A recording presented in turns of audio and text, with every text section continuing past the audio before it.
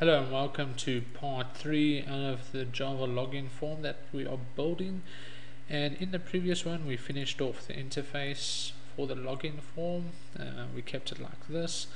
And um, as you can see this isn't pure black it's like extremely dark brown but that's fine for now. So now what we're going to do is we're going to add validation. So like if there is no username and password we wanted to highlight the two labels. So what we're going to do for that is make a comment here and we're going to say uh, validate uh, one.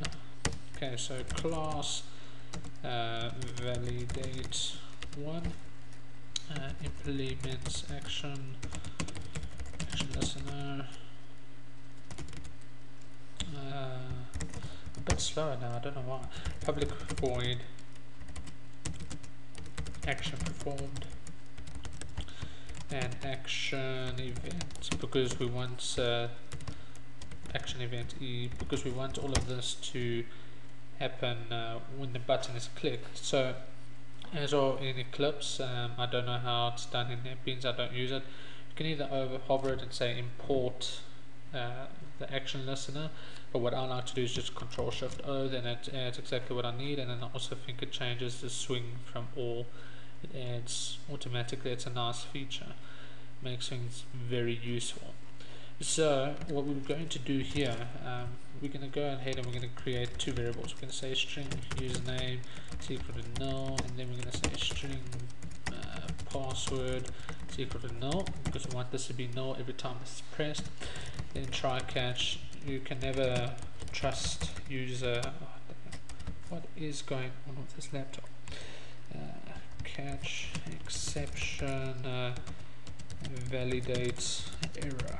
So you can call this whatever you want to but at the moment it doesn't care. We're not really too interested in that. And uh, what we're going to go ahead here and we're going to say we're going to say in our variables that we're going to declare it and say username is equal to user uh, username field dot get text dot trim so it gets rid of any additional space afterwards.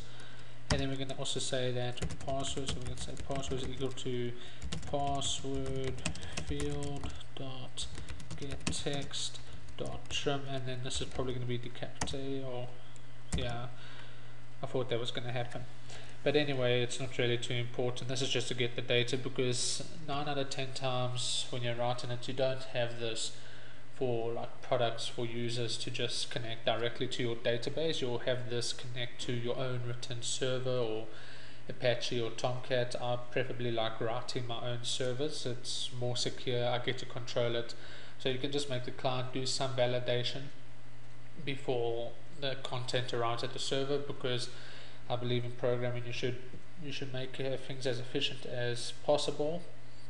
But at the same time you need to make things as safe as possible because uh, with SQL injections it's crazy. Someone could uh, break get the source code of your application and put in drop your table and it drops all your tables and it just becomes crazy.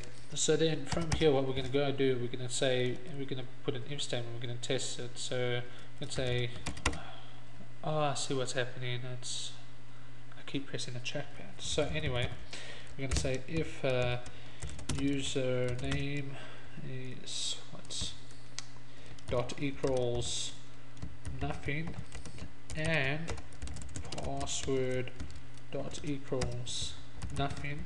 Then we wanted to spit out well we don't want to spit out anything out. We just wanted let's get to this because I don't want to constantly write this over and over again so let me just change it password label and then we're gonna make this zero zero zero zero because we two five uh, zero zero because we wanted to point it out. It's like hey you don't enter any content. And um, now to like if you go and run this nothing's going to happen. It's just going to say blank because we haven't attached the button to anything. We haven't linked it and uh, given it an action listener yet. So what we do is we'll go back to our buttons um, section and what I'm going to do is I'm going to say login button dot add action listener you see it pops up there and then you just say new class so new validate one and then put your brackets like that hold on what is wrong uh, let me just copy and paste that. Hmm. What is wrong? Let's have and see there no closing instance of type login is accessible. Type login. Or X is an instance of login. Hmm. Let me pause and get right back to you. Okay, sorry about that. So the problem is um, this is alright, but the class seems to be static. So go ahead and say static class. And our error should disappear. Oh wait, um, because I was playing around. So validate one. And there we go, our errors disappeared. Now let's go ahead and give this a try. So run it and run login. Now you can see because we haven't filled anything in uh, Java's like whoa these two fields are empty and uh, I've been told that I should highlight these with red depending on whether or not the fields are empty or not. So um, like now if you go and write stuff in there it's just going to stay the same because we haven't written another condition which we will. But let me run it again and just stuff. Now you see because both fields a full it's not gonna even if you get rid of one it's not and we like in this case when the password field is empty we wanted to show hey the password field's empty. So now let's go and do that. So let's go and write an else statement here. So else if hold on if uh, username field dot equals nothing then we wanted to just go and say use it. Or let's actually do this because you have to keep setting the colors for it. And we will make this 50 again like the original color.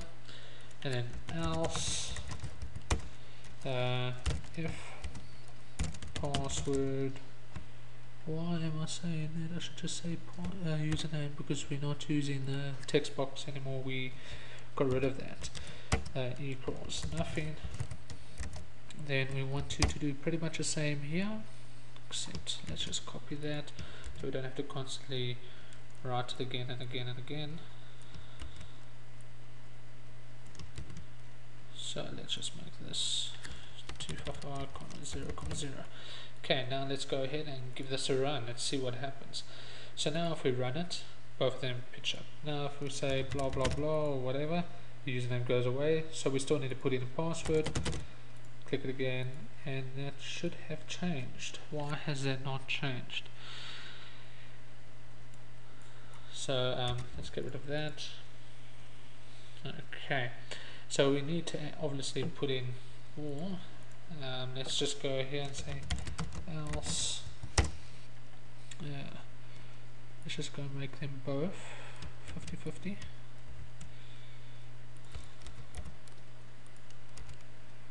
you can refine this as you go. So let's go to the password. Let's bring it back. Okay it seems to be working now. So there we go.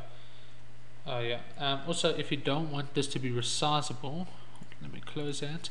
You can go to just have to say uh, frame say frame dot set resizable false um, I don't recommend it because some operating systems, like if you run this on Linux or Ubuntu, it just wouldn't look right, it looks strange. So there we go. So now you can see there's no way to make it larger or smaller. Also you can change the south panel color, but I always believe keep things simple. Um, it's a term KISS, keep it simple, stupid, or something like that. But anyway, this was part three of the login form. Um, subscribe, keep watching, and watch watch a fourth one.